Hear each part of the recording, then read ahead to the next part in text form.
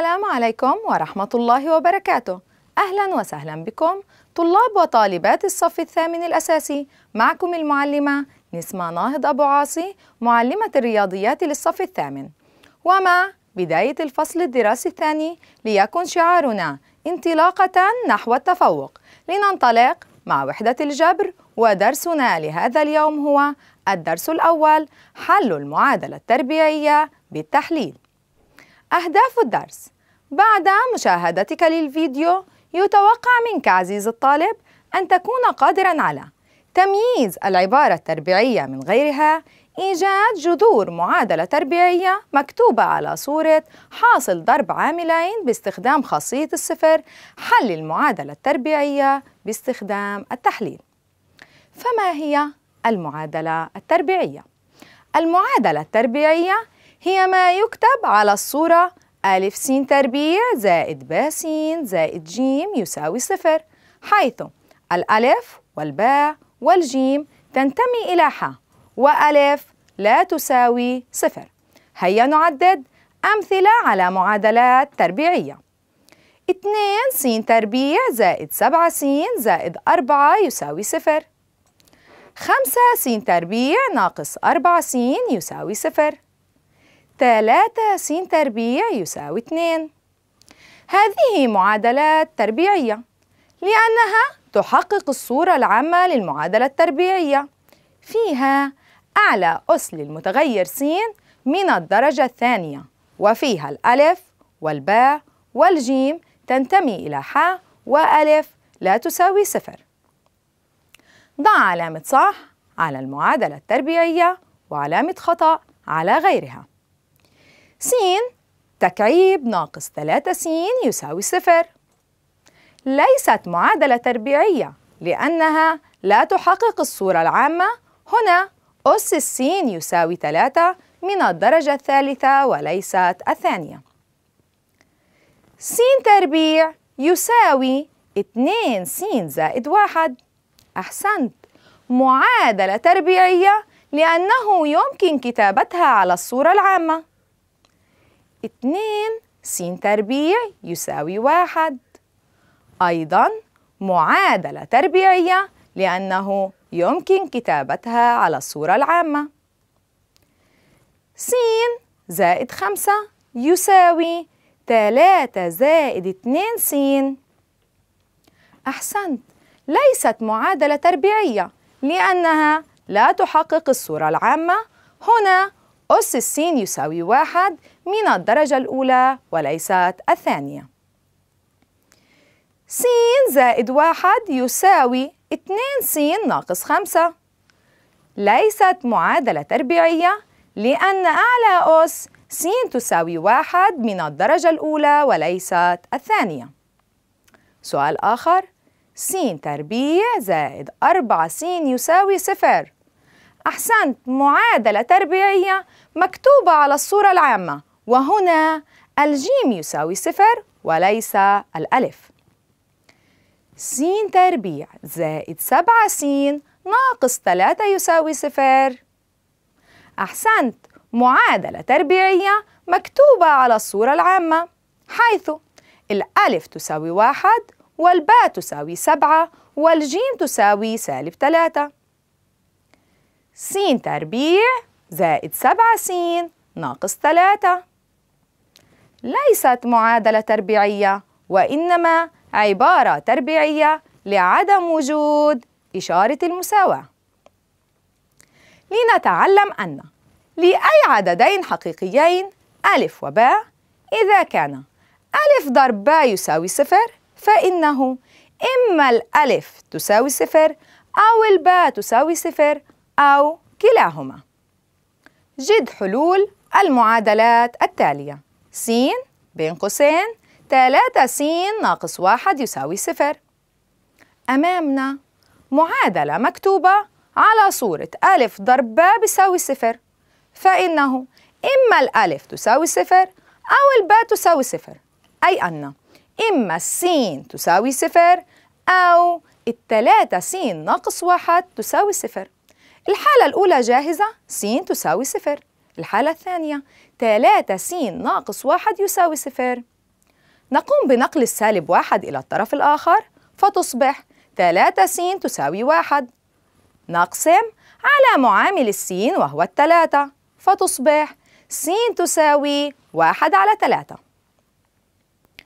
اتنين س تربيع ناقص أربعة س يساوي صفر. ماذا أفعل؟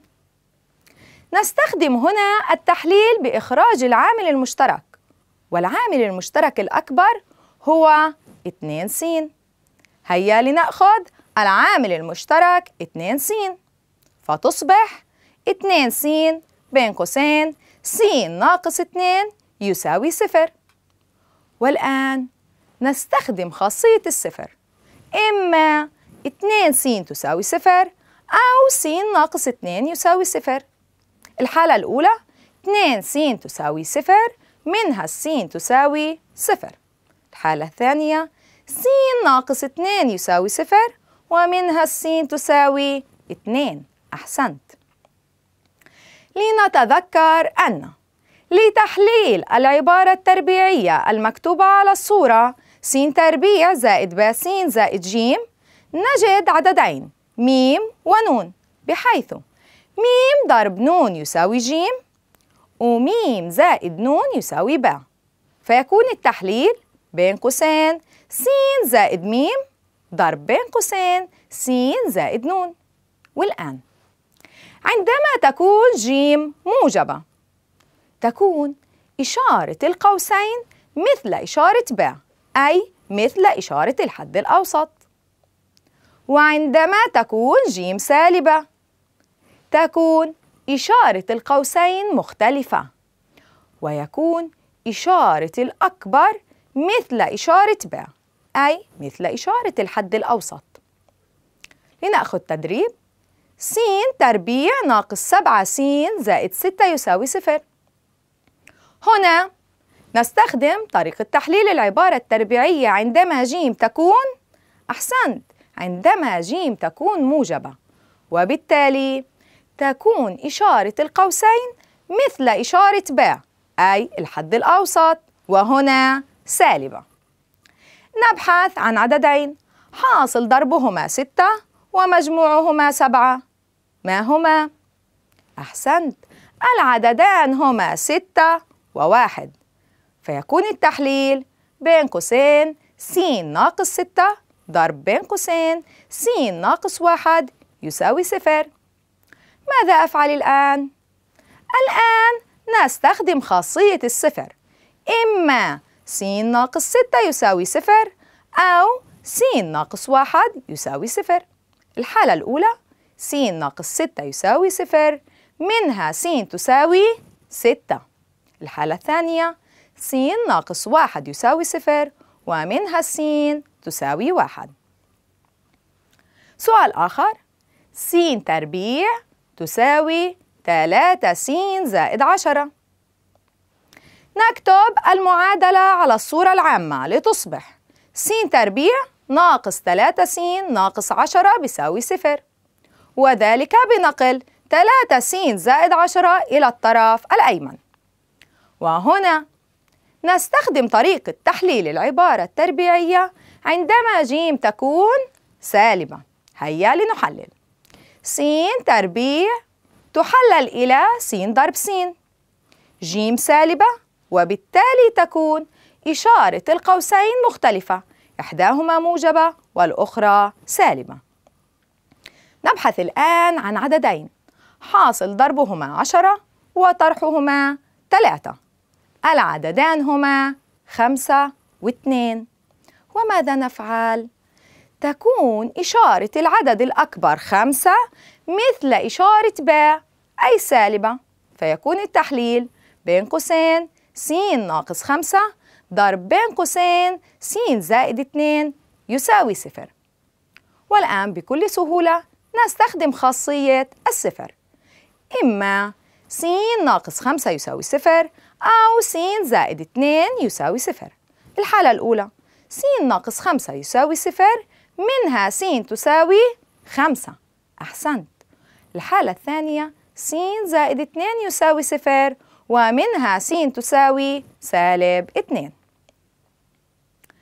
جد حلول المعادلات التالية. س ضرب بين قوسين 2 س ناقص 5 يساوي صفر. أمامنا معادلة تربيعية مكتوبة على الصورة ألف ضرب باء بيساوي صفر. فمباشرة باستخدام خاصية الصفر. إما س تساوي صفر أو 2 س ناقص 5 يساوي صفر. الحالة الأولى س تساوي صفر. جاهزة.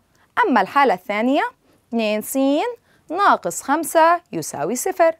نقوم بنقل السالب 5 إلى الطرف الآخر بإشارة مخالفة فتصبح 2 س تساوي 5 والآن نقسم على معامل السين وهو 2 فتصبح س تساوي 5 على 2 سؤال آخر. بين قوسين س ناقص 3 ضرب بين قوسين س زائد 5 يساوي صفر. نستخدم خاصية الصفر. أحسنت. فإما السين ناقص 3 يساوي صفر أو السين زائد 5 يساوي صفر. الحالة الأولى س ناقص 3 بيساوي صفر منها السين تساوي 3 والحالة الثانية س زائد 5 يساوي صفر منها السين تساوي سالب 5 سؤال آخر. س تربيع ناقص خمسة س ناقص أربعة عشر يساوي صفر. نحلل المعادلة التربيعية. هيا لنحلل. س تربيع تحلل إلى س ضرب س جيم هنا سالبة. إذا تكون الإشارتان مختلفتان. إحداهما موجبة والأخرى سالبة. ثم نبحث عن عددين. حاصل ضربهما 14 وطرحهما خمسة. ما هما العددان؟ ابحث جيدا. أحسنت. العددان هما سبعة واثنين. والعدد الكبير وهو السبعة. يأخذ إشارة الحد الأوسط أي الإشارة السالبة. فيكون التحليل بين قوسين س ناقص سبعة ضرب بين قوسين س زائد اثنين يساوي صفر. والآن باستخدام خاصية الصفر. إما السين ناقص سبعة يساوي صفر أو السين زائد اتنين يساوي صفر. الحالة الأولى س ناقص سبعة يساوي صفر منها س تساوي سبعة. الحالة الثانية س زائد اتنين يساوي صفر ومنها السين تساوي سالب اتنين سؤال آخر. س تربيع زائد تمانية يساوي ستة س ماذا نفعل؟ أحسنت. بداية نكتبها على الصورة العامة للمعادلة التربيعية لتصبح س تربيع ناقص ستة س زائد تمانية يساوي صفر. والآن نحلل. السين تربيع تحلل إلى س ضرب س وجيم موجبة. إذا الإشارتان متشابهتان نفس إشارة الحد الأوسط سالبة. الآن نبحث عن عددين. حاصل ضربهما 8 ومجموعهما 6 ما هما العددان؟ أحسنت. العددان هما أربعة واثنين. إذا يكون التحليل بين قوسين س ناقص أربعة ضرب بين قوسين س ناقص اثنين يساوي صفر. والآن باستخدام خاصية الصفر إما إما السين ناقص أربعة يساوي صفر أو السين ناقص اثنين يساوي صفر. الحالة الأولى س ناقص أربعة يساوي صفر منها السين تساوي أربعة. أحسنت. أو س ناقص اثنين يساوي صفر ومنها السين تساوي اثنين سؤال آخر. س تربيع ناقص تسعة يساوي صفر. أمامنا عبارة عن فرق بين مربعين. ماذا نفعل؟ تحلل العبارة المكتوبة على صورة فرق بين مربعين إلى س ناقص 3 ضرب س زائد 3 يساوي صفر.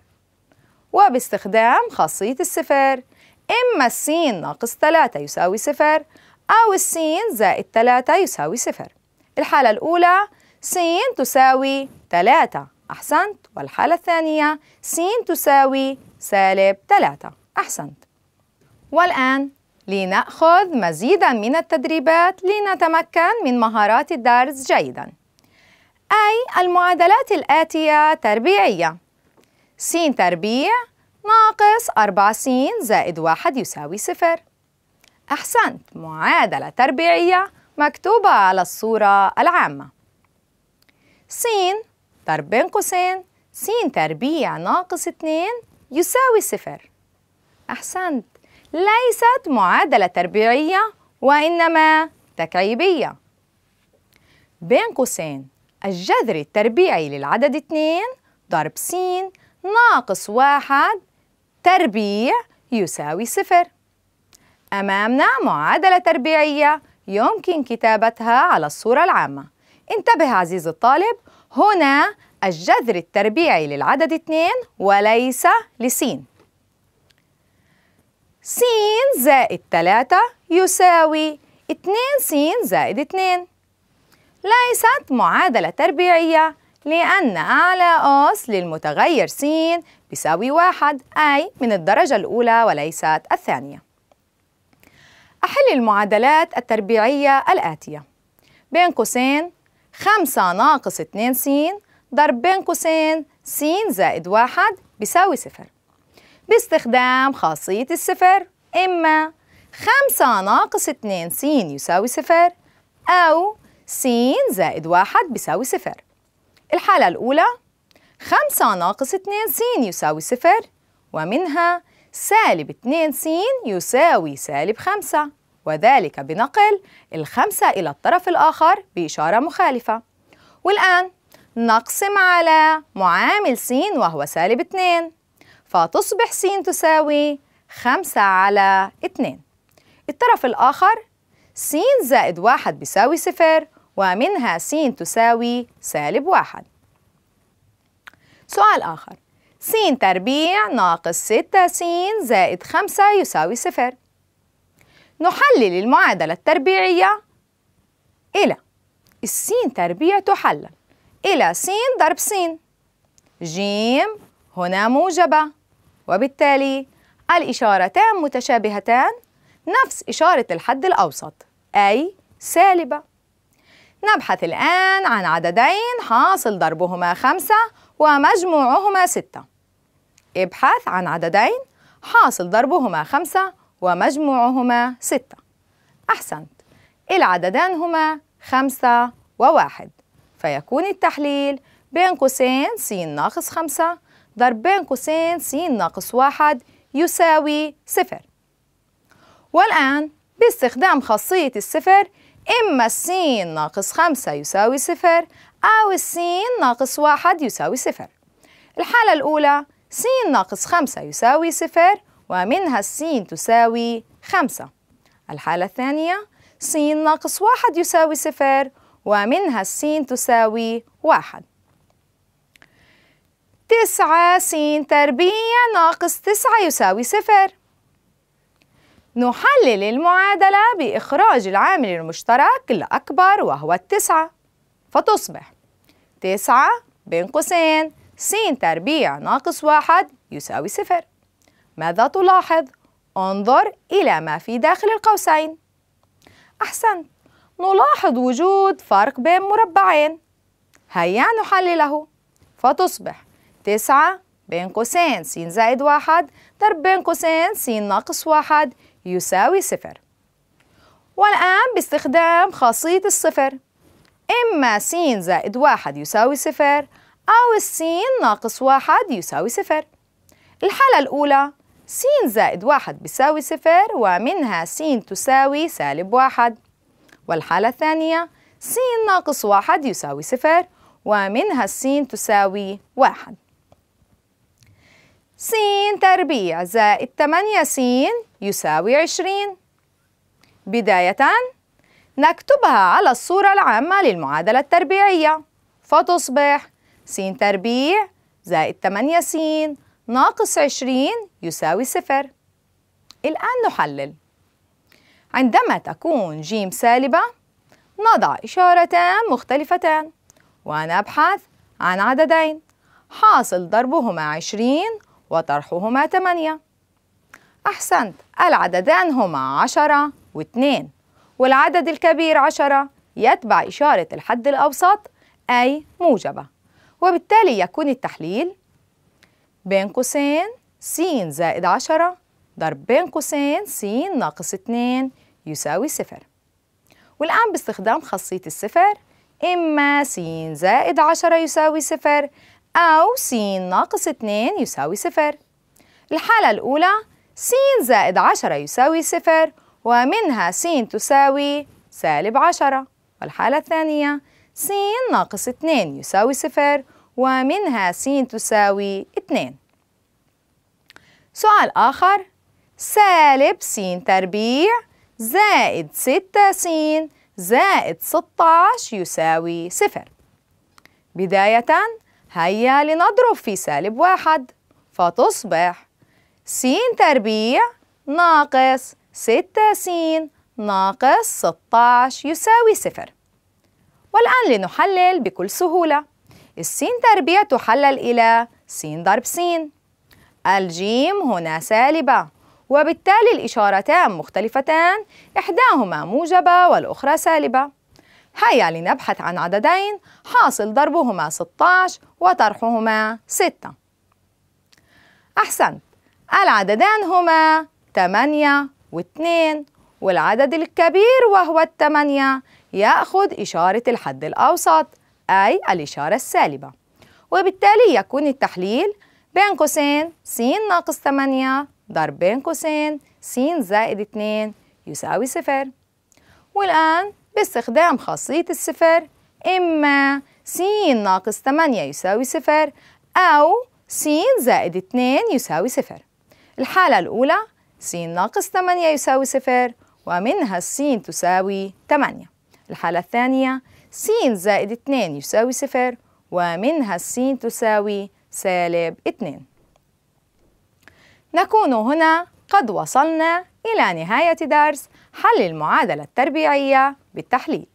وفيه تعرفنا على الصورة العامة للمعادلة التربيعية وكيفية حلها بالتحليل. أيضا تعرفنا على كيفية إيجاد جذور المعادلة التربيعية باستخدام خاصية الصفر. تمنياتي لكم بالتوفيق والنجاح. والسلام عليكم ورحمة الله وبركاته.